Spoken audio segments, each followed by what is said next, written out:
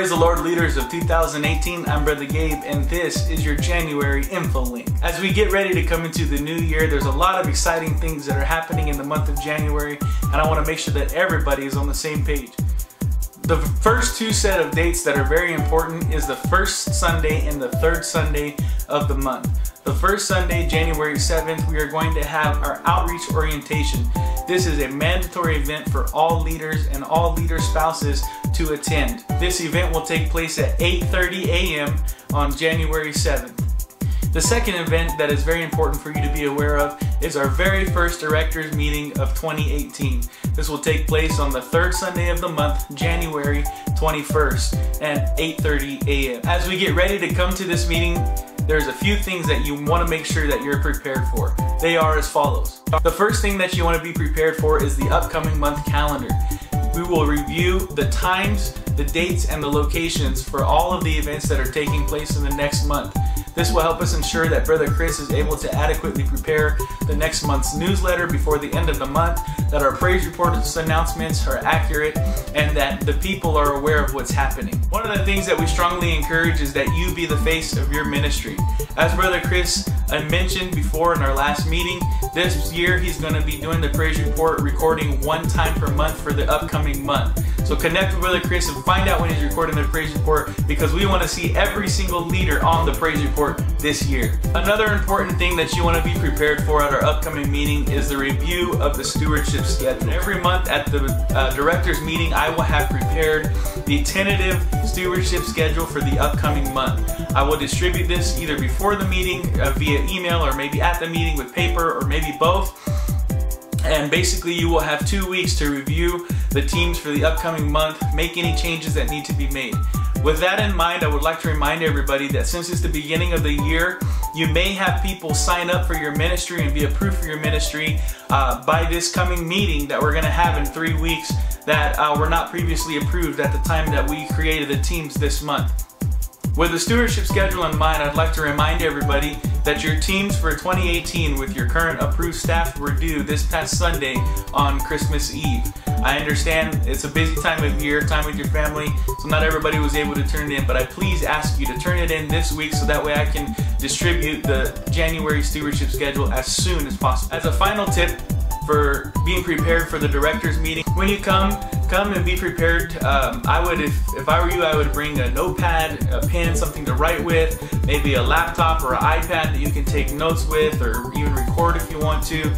Um, and just come prepared. Sometimes uh, we have action points um, and things that you may need to follow up with, or sometimes we may ask you to do certain things, or uh, you may be contacted ahead of time to present something that's happening in your ministry. So you just want to make sure when you come to these meetings, we have a lot of information to present in a very short amount of time, and we want to make sure everybody's ready. We want to make sure you're hung- you're fed, so you're not hungry, and uh, that you're you're just intaking everything that's there. And this is a time where you can you know also bring up uh, ideas or voice uh, concerns, things like that. And all of these is basically communication between the leadership of the church. So with that in mind, we want to invite everybody make sure everyone is aware about our very first directors meeting on the third Sunday of this coming month, January 21st. We always encourage everybody and remind everybody if you're not going to be able to make it to a meeting, don't just not show up. Make sure that you contact Pastor directly for his direction. Contact him and let him know why you won't be there. And uh, that way we can make adequate preparations.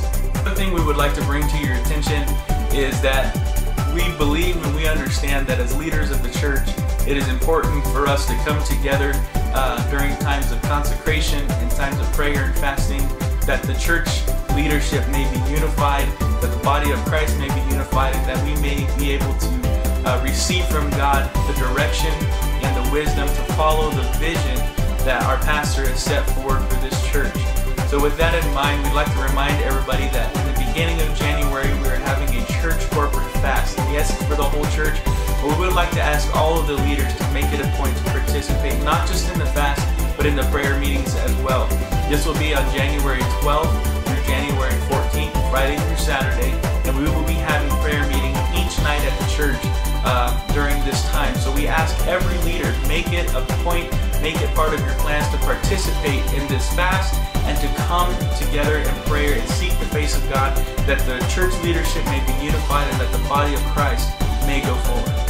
Before we finish this InfoLink, I'm going to do a quick review of the calendar to make sure that everybody knows all of the dates that have been solidified for the month of January are as follows.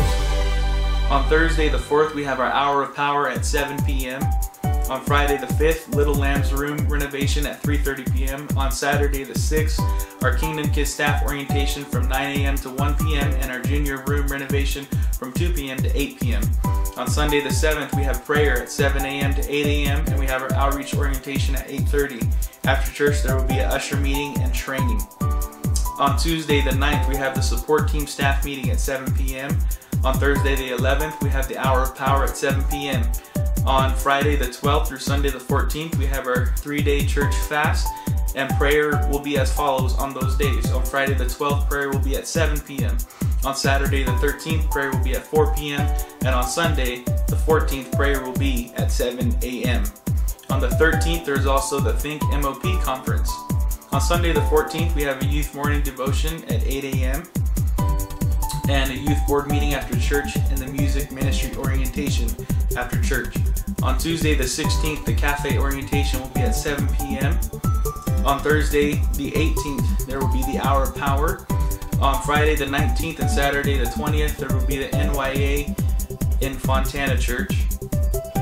On Sunday the 21st, there will be prayer at 7 a.m. and our first directors meeting at 8.30 a.m.